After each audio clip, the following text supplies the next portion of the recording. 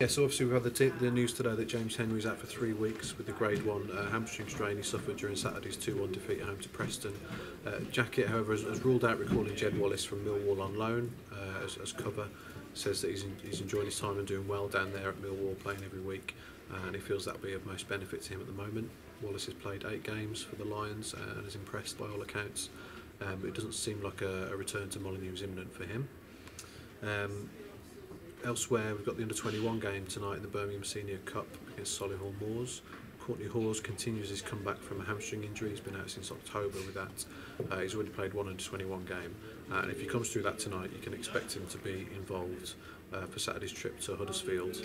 After uh, another 90 minutes, Kenny feels he'll be ready for or available for selection. Whether that means he starts on Saturday, we'll see. So we'll see how he comes through that game tonight, which also features uh, Bright Enobakhare and Sylvain Deslandes.